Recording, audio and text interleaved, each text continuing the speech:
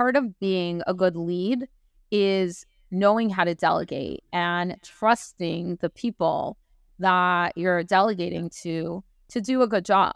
Hello and welcome to the Business of Architecture. I am your host, Rion Willard, and today I am joined by the visionary founder and CEO of the Designers Group, Blima Ehrentreu. Blima's creativity and ingenuity have been instrumental in transforming the design industry. Her commitments to empowering women and her dedication to the community have not gone unnoticed, earning her a place amongst Globest's Women of Influence in both 2020 and 2022, as well as recognition in Crain's Notable Leaders in Real Estate in 2023 and 2024. Under her leadership, the Designers Group boasts a diverse portfolio across residential and commercial sectors. This excellence was recognized by Inc. magazine in 2021, ranking the Designers Group as the 15th fastest private growing company in the New York metro area. Renowned for their high end interiors, they lead the way in commercial, residential, and healthcare design. Blima is not only shaping spaces, but also shaping the industry herself. Her commitment to philanthropic work culture has given rise to initiatives like TDG Gives Back and TDG Furniture Exchange, with a profound belief that design can create positive environments and serve community. Blima stands out as an indomitable force in the field. In this episode, we talk about the early beginnings of the practice, her move from Canada into the US, the challenges that she overcame in being able to build up a business in one of the most competitive real estate markets on the planet. We speak about her philanthropic work and how she uses her business as a force for good and how they use profits and time from the business, from having a well run business, they're able to have agency in impacting these causes that are important to them. So, loads of gold nuggets here in this interview. Really, really uh, enjoyable and very insightful. So, sit back, relax, and enjoy Blima Ehrentreu. And now, a word from today's sponsor. A while ago, I began to hear reports of a company that was helping some of our clients build remote teams. We looked into it more closely and discovered the company World Teams that was helping small architectural practitioners build remote teams that were both capable and qualified. I was intrigued by another business that addressing one of the critical pain points for small architectural practices, which is the ability to grow and shrink a team effectively, to be able to handle higher workflow without having to staff up significantly and also being very sensitive about labor costs. World Teams is built to address these issues. World Teams is a small but mighty company that helps architectural practices build high performing remote teams quickly and efficiently saving you the headache of sorting resumes and interviewing underqualified candidates. World Teams operates in your time zone and prioritizes near native English speakers, ensuring clear and efficient communication with your remote team members. They have flexible contracts so you can adjust your team size as your needs evolve. Additionally, you're connected directly with your skilled professionals, which fosters trust and collaboration. And World Teams helps you reduce your operating costs without compromising the quality that is so important to a practice. To download a free guide for building a remote team for a small architectural practice, go to businessofarchitecture.com forward slash world teams. That's one word, businessofarchitecture.com forward slash world teams. As a reminder, sponsorship is not an endorsement, and you must do your own due diligence before entering into any business relationship. Go to businessofarchitecture.com forward slash world teams. Blima, welcome to the business of architecture. How are you? I am good. How about yourself? I'm very well, thank you. Pleasure to be speaking with you again.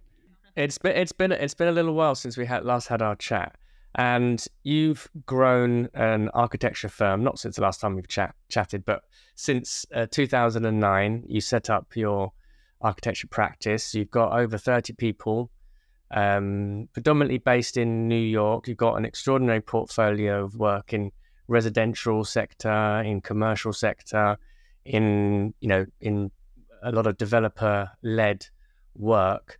Um, and you know I've been very impressed with the, the, pace of which you guys have been growing uh, and the and the kind of caliber of work that you've been that you've been uh, doing. So perhaps we can start with um, how did you guys how did you how did you found the company? I'm from Toronto originally and probably in 2009, like you said, I finished my master's in interior architecture and design. And I was looking for a way to get experience and really understand what architecture is. And my master's was in interior architecture and design. So Right. really focused on interiors.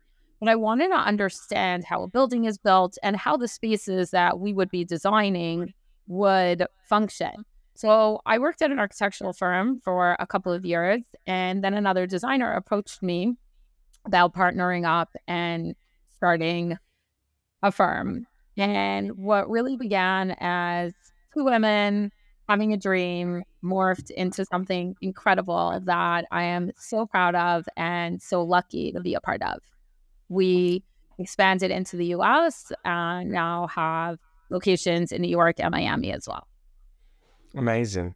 Right. So that so you you guys actually kicked off in Toronto and then moved over. Was it was it difficult to do that? Was it difficult to kind of get your to start winning work, particularly in a in a city like New York where it's just so fiercely com- co- competitive? There's already like you know big established brands. Um, how, how was that? How did you kind of navigate being able to find clients and and make that transition? It definitely was a challenge starting in a fresh country where nobody had seen our work. But we did have some clients from Toronto who were developing in New York. Um, that was a pretty easy transition where they knew me, knew my work, and gave me the opportunity.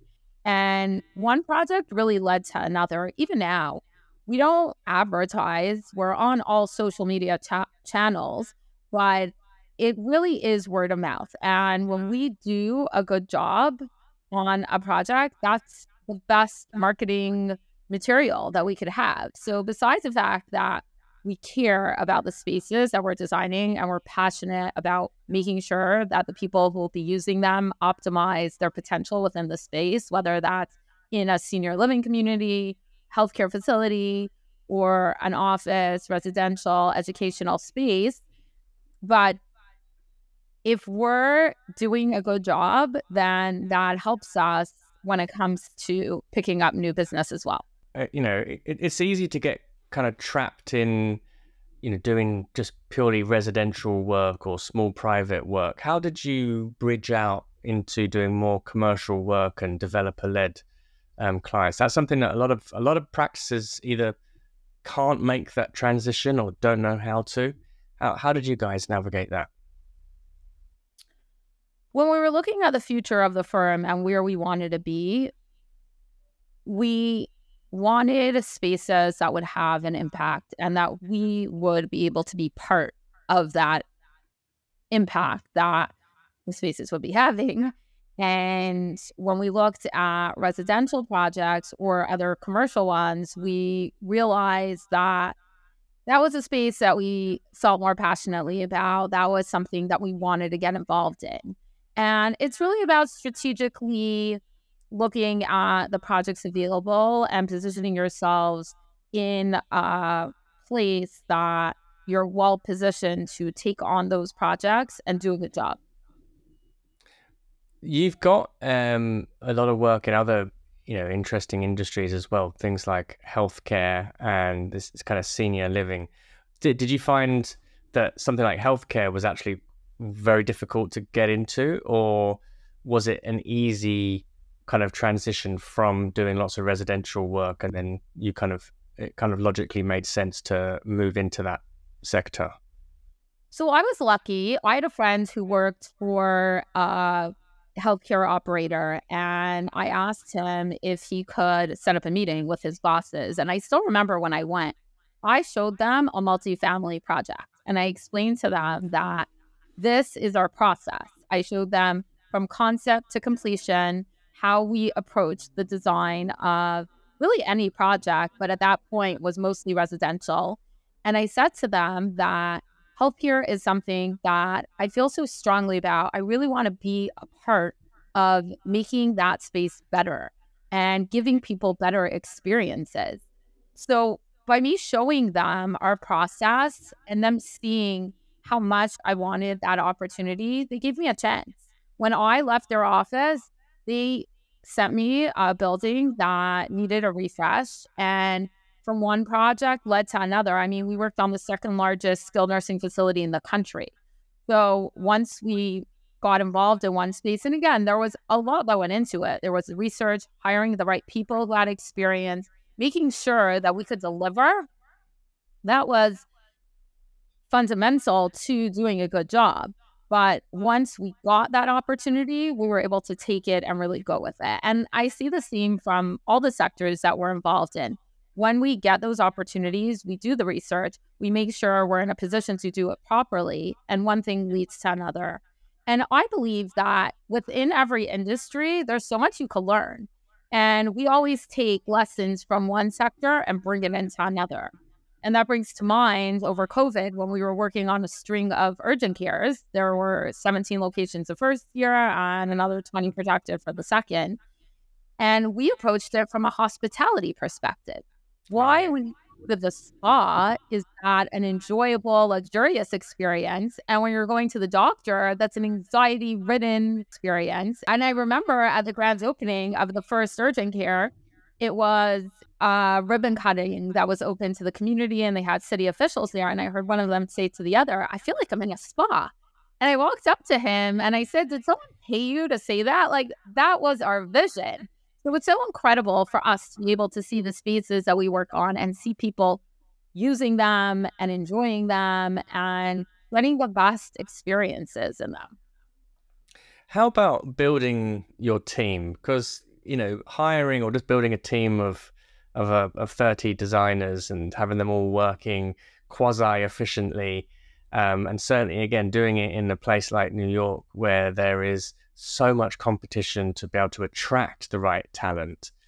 How have you been able to to do that? And what, what challenges have you experienced in a in finding and recruiting talent and retaining talent? And and what have you found has worked for you, um, both in attracting it and retaining people?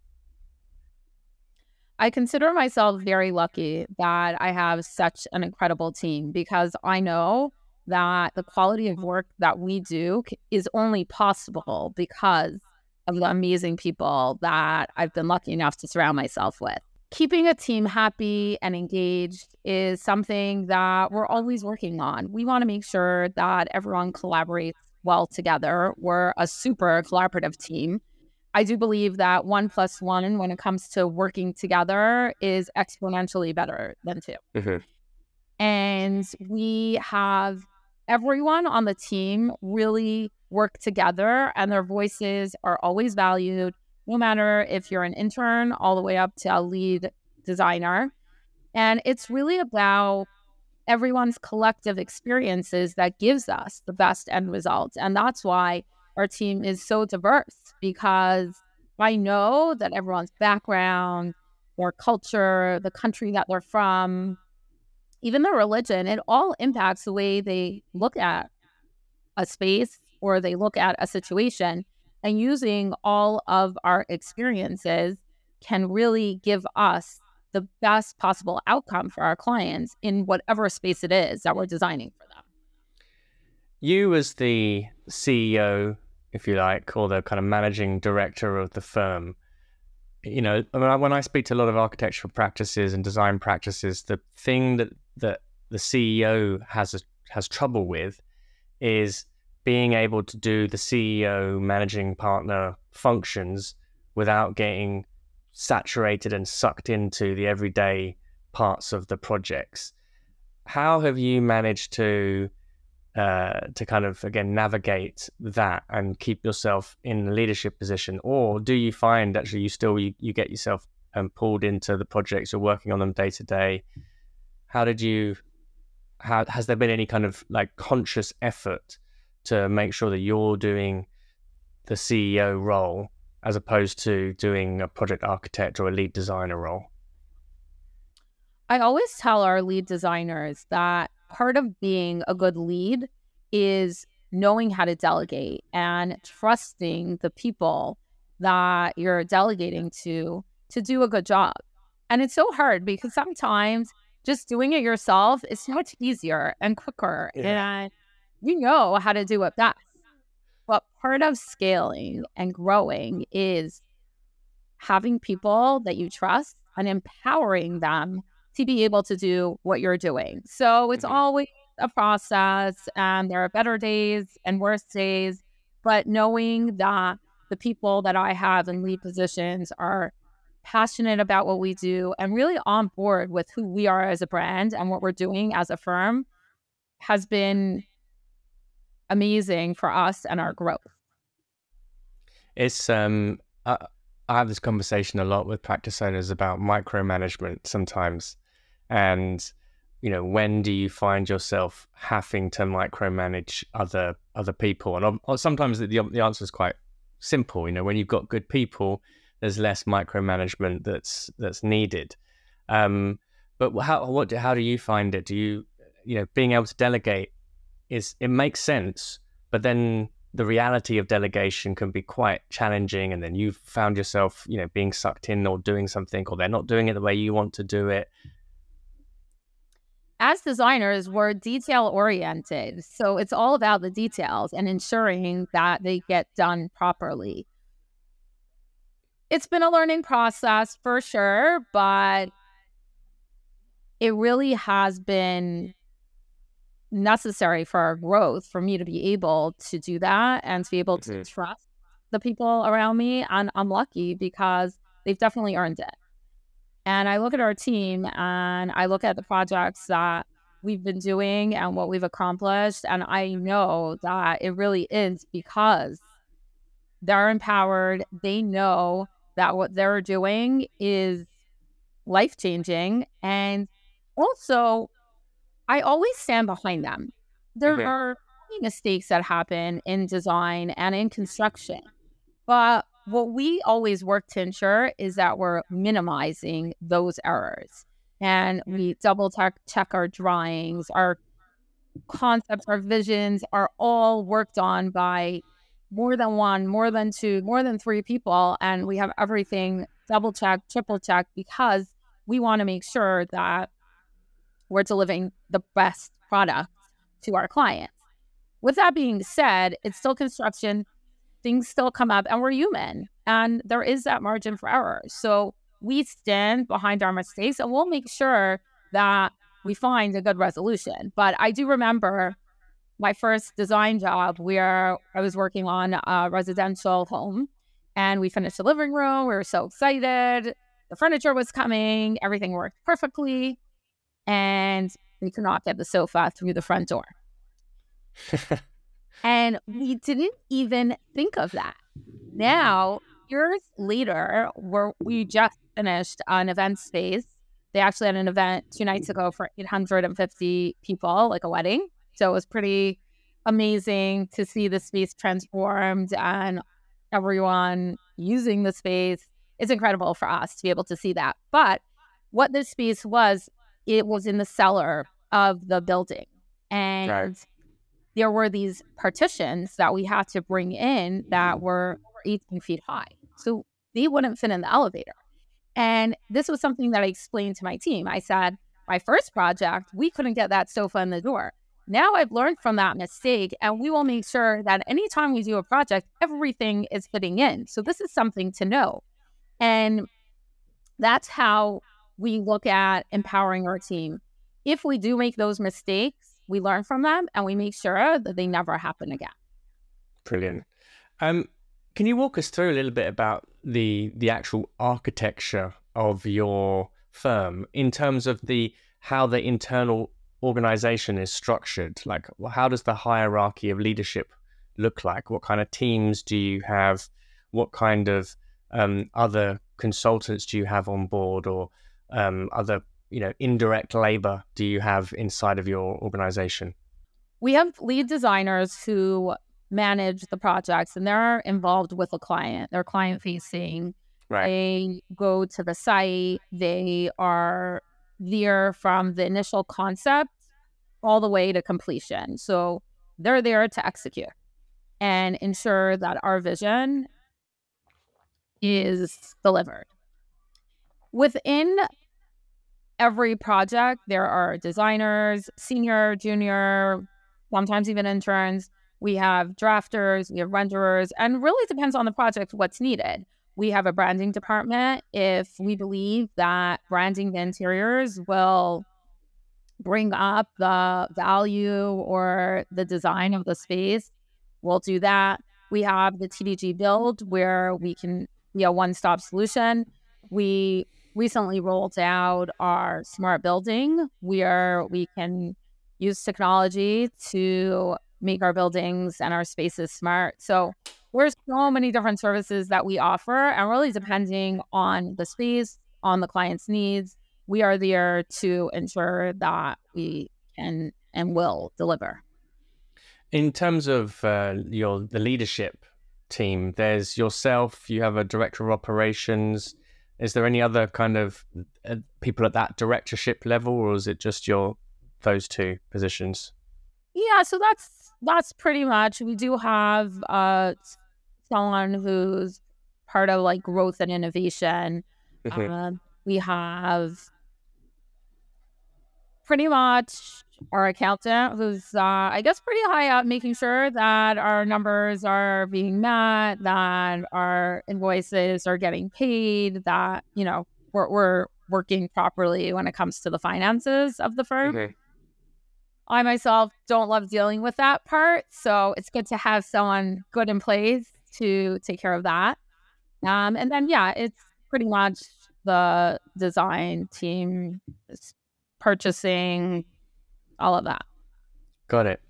Um, you you said earlier uh, that you know you've you've become this kind of one stop solution for your clients, um, and this is quite a, in for, for a lot of people this can be a very thoughtful business innovation where you've kind of vertically integrated these different um, services. Could you walk us through the different service offerings that you have that perhaps you might bring to just a single project?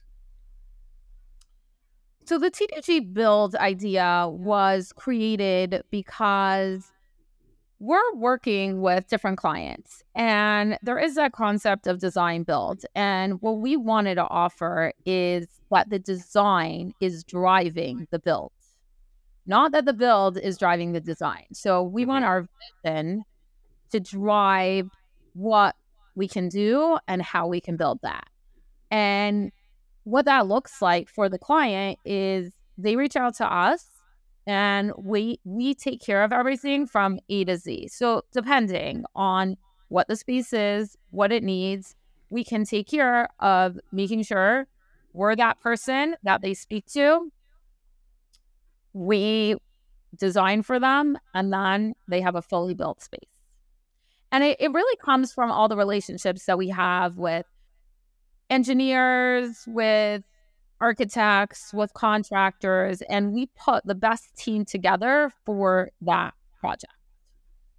So you guys so you guys will do your traditional interior design services and then you'll actually act as the general contractor to actually have, complete the the the entire build of a fit out or interior space so we don't eh? act as general contractor, but we'll be the ones to manage a general contractor and we'll be I the see. ones to engage the contractor. And we have specific contractors that we have agreements with because depending on the type of project, different contractors have more experience in those spaces. So mm-hmm. depending mm-hmm. on what it is, if it's just an interior fit out, if it's a ground up, if it's it, eh, there are so many uh, even within that there's the different types of spaces. Some people have experience with healthcare, some do not.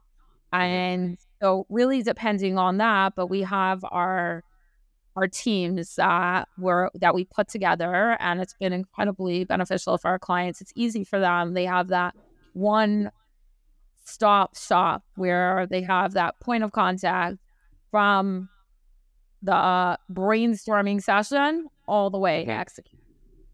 I see. Okay, so so you're so you're kind of liaising and in control of coordinating the the contractors and appointing them and putting them through the bidding process or whatever, making sure that you're getting the right uh, the right price for the for the client.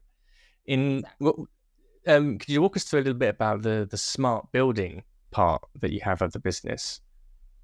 Yeah, so there's so much technology right now that can be incorporated to make spaces more sustainable, for them mm-hmm. to function better, for the experience to in the operating in the operating part to just be mm-hmm. better. So leveraging that technology, we have a group of engineers that can work on that and really allow a space to not just look beautiful, but function beautifully way after we're out of the space.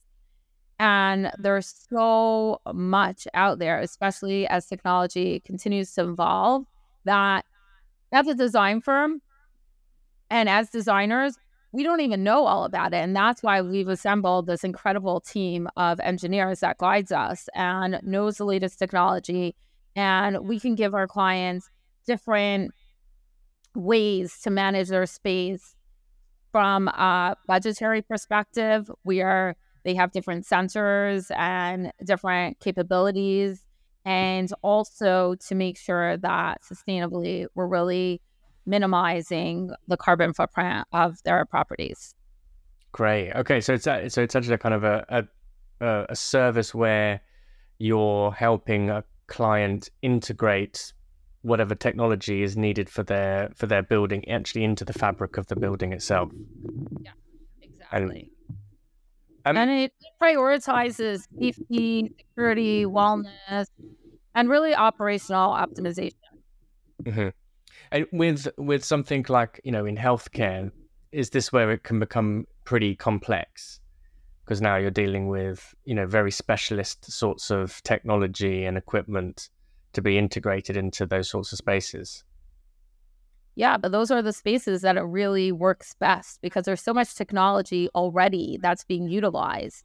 Yeah. So when you look at it from that perspective, you can do so much more with it. Brilliant.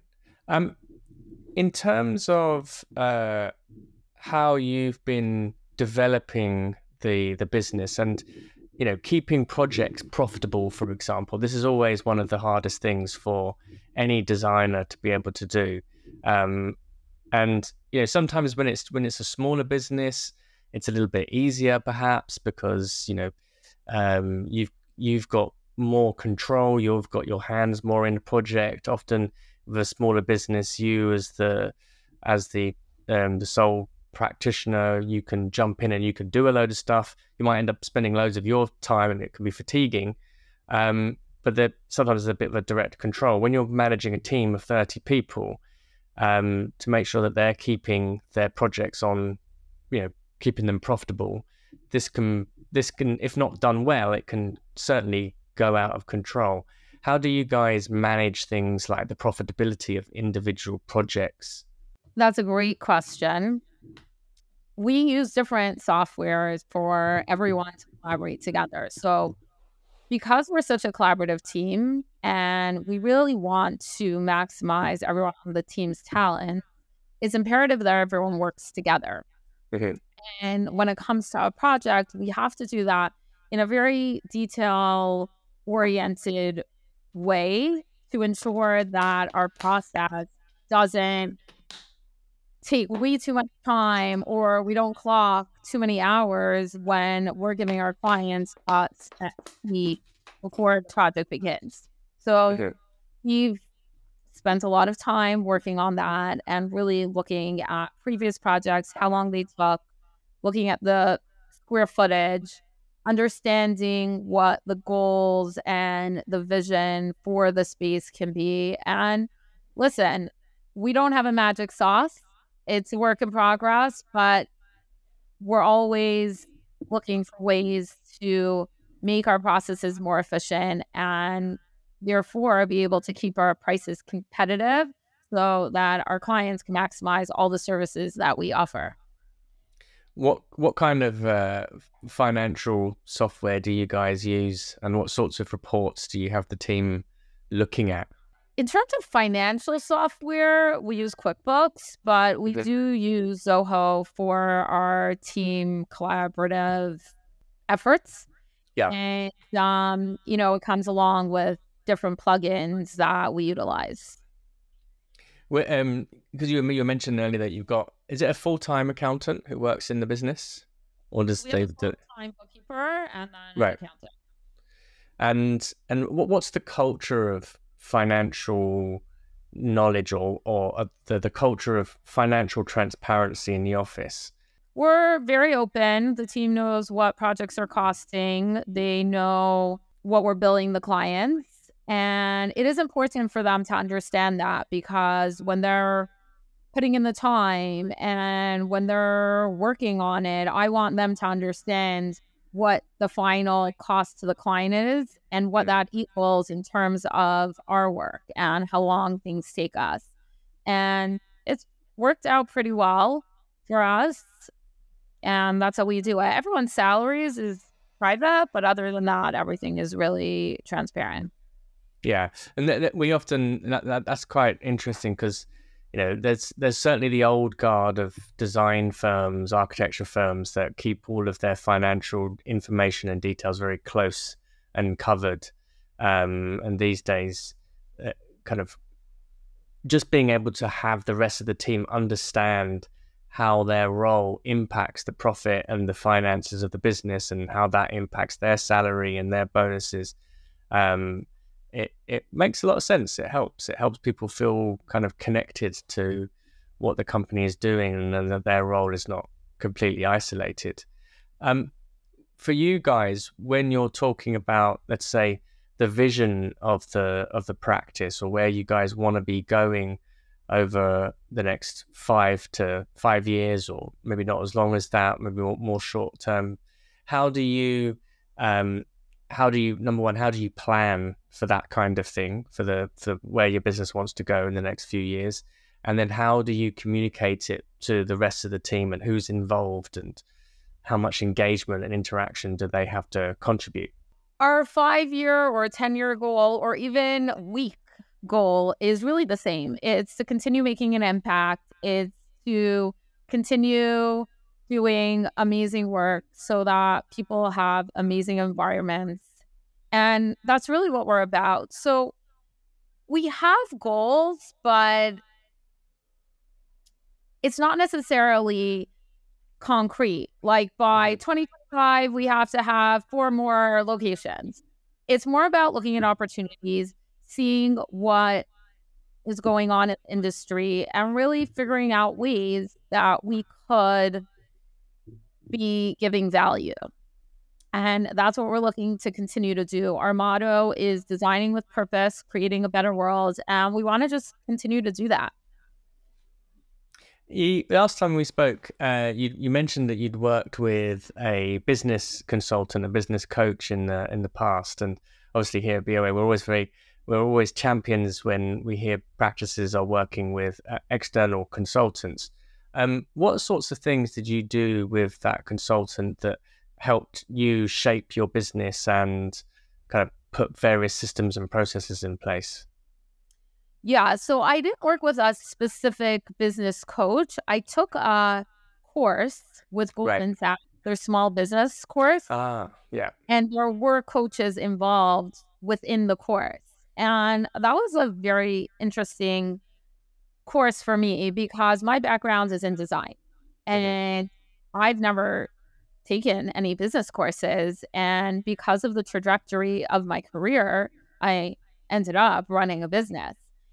So I felt like at this point, understanding business and learning from mentors who are better than me would be imperative for our growth. And I really enjoyed it. There was so much value and so much to learn.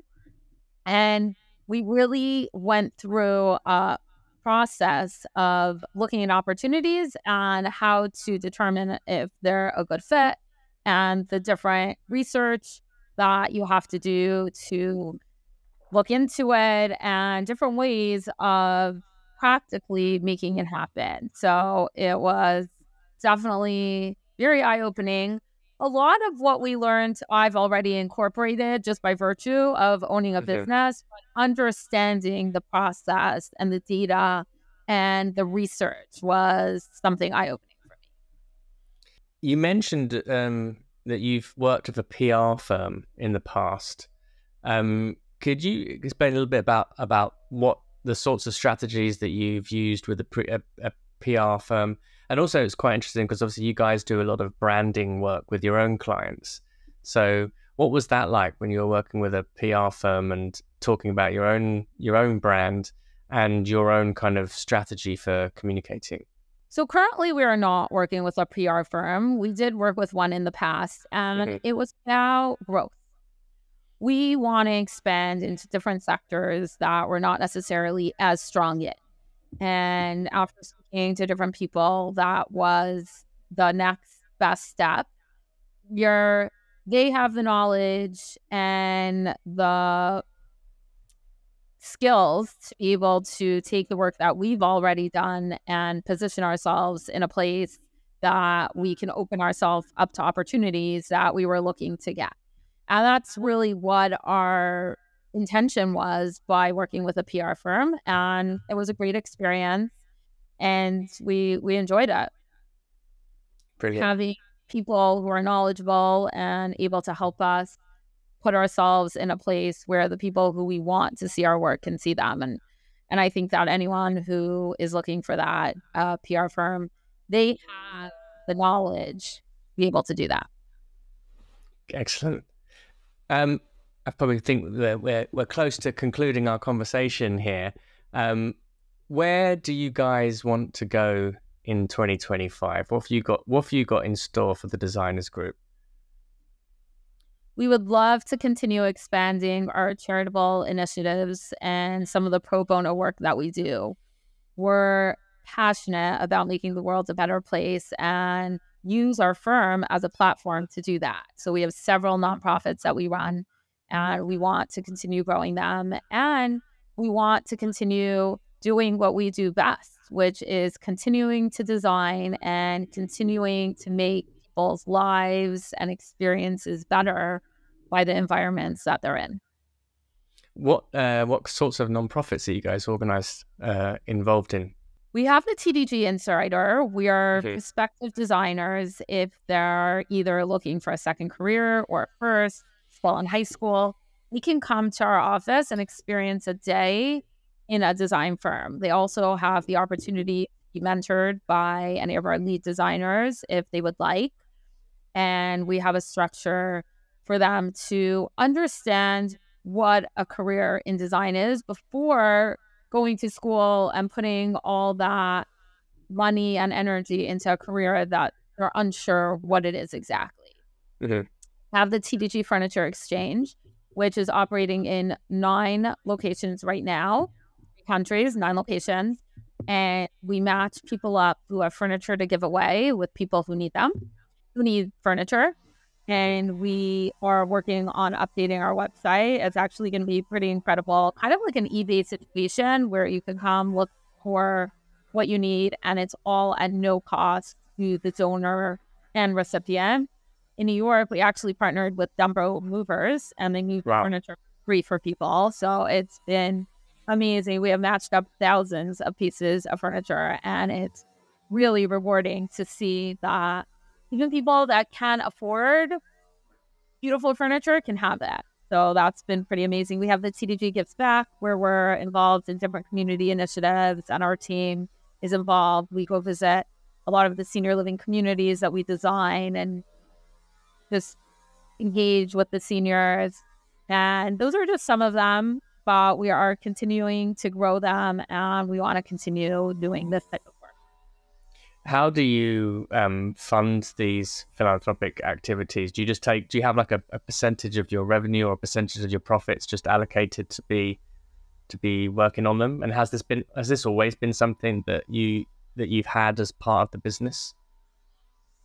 So I've always been about trying in my own way to make the world a better place, and that's why naturally I veered towards a career in design because I felt that was one way to do that as a job. And yeah, ever since the firm started, I have been super involved in different community initiatives and using our firm as a way to do good. So that's definitely always been a real priority for me. And I know my team subscribes to it too. So I'm very mm-hmm. lucky for that. We don't run all of them specifically through the team doing them, but I'm always open to their ideas. The TDG Insider was actually one of my lead designers' ideas, and I loved it because I remember when I was starting off in design, I really didn't know who to ask and who to talk yeah. to. So having this as a resource for potential designers has been super helpful, and I've heard many stories from people who have been doors who have really, it, it has really helped. Um, so yeah, for sure, I want to continue that, and it's always been something very important to me, and I hope to be able to continue to grow it. In terms of the exact dollar amount, what we've been allocating towards these initiatives, it's not a specific percentage. Sometimes more money is needed, sometimes less, and we want to continue to grow and and whatever is needed, we the designers group is funding it. Do your do your clients know about the the philanthropic activities? I mean, it's on our website. It doesn't mm-hmm. necessarily come up in conversation, but we are all about it. It's something, like I said, I'm very passionate about. And when I am into something, people hear about it. I just like to talk about it. So some of them definitely about it if it comes up for sure. Brilliant. Very inspiring. Excellent. Well, thank you so much, Blima, for your um, your time this afternoon or this morning, um, and sharing us with us a little peek behind the scenes of the, the designers group and and what you guys have created. It's really very inspiring and very insightful. So, thank you so much for being on the show. Thank you. It's been great to connect again. Always love chatting. And that's a wrap. Hey, Enoch Sears here, and I, I have a request since you are a listener here of the Business of Architecture podcast. Rion and I, we love putting this podcast together. We love sharing information as much as we can glean from all the other industries that we're a part of to bring it back to empower you as an architect and a designer. One thing that helps us in our mission is the growth of this podcast, simply because it helps other architects stand for more of their value, spreads the business information that we're sharing to empower architects together so architects, designers, engineers can really step into their greatness, whatever that looks like for each individual. And so here my my simple ask is for you to join us and be part of our community by doing the following. Heading over to iTunes and leaving a review of the podcast. And as an expression of our sincere thanks, we would like to give you a free CEU course that can get you one professional development unit, but more importantly, will give you a very solid and firm foundation on your journey to becoming a profitable and thriving architect. So here's the process for that. After you leave us a review, send an email to support at businessofarchitecture.com. Let us know the username that you use to leave the review, and we will send you that free training. On the training, you'll discover what 99% of architecture firm owners wish they would have known 20 years ago. And the other 1%, well, they just didn't even know that they didn't know. Head over to iTunes and leave us a review now. And now, a word from today's sponsor. A while ago, I began to hear reports of a company that was helping some of our clients build remote teams. We looked into it more closely and discovered the company World Teams that was helping small architectural practitioners build remote teams that were both capable and qualified. I was intrigued by another business that addressing one of the critical pain points for small architectural practices, which is the ability to grow and shrink a team effectively, to be able to handle higher workflow without having to staff up significantly and also being very sensitive about labor costs.